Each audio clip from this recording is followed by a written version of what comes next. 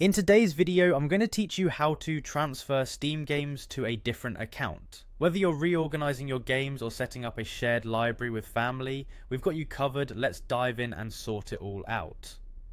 First things first, we're going to open up the Steam app. Uh, this is your main hub, so make sure you have it up and running on your computer. If you've got any notifications popping up, feel free to clear those out of the way so we can work with a clean slate. Once you've launched Steam, it's time to log in. Head over to the login area, which you should see prominently displayed. You'll need to enter your account name and your password. As you do this, double check for any typos. It's best to avoid any headaches from incorrect logins. Now hit sign in and you'll be into your available Steam games. But here's an important note. While we often think about transferring games between accounts, Steam doesn't actually allow a direct transfer of owned games from one account to another.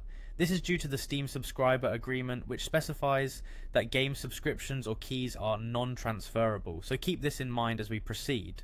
However, what we can do is make use of Steam's family sharing feature. This allows you to share your games with other family members, navigate to the main Steam homepage, and then click on Steam in the top left corner of the app.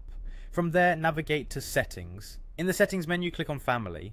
While you're in this tab, keep in mind that if your account is limited in any way, you won't be able to make changes here, so make sure your account is in good standing.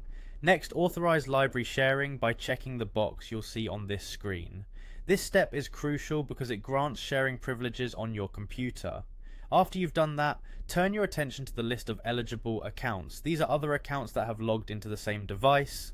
Check the boxes next to the names of the accounts you wish to share your library with. Finally, after selecting the accounts, ensure you click OK to save your changes.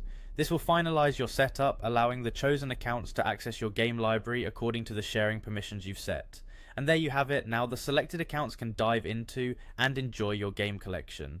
Remember, Steam Family Sharing is a great way to keep everyone enjoying the games you love without needing to transfer ownership directly. Thanks for tuning in and happy gaming.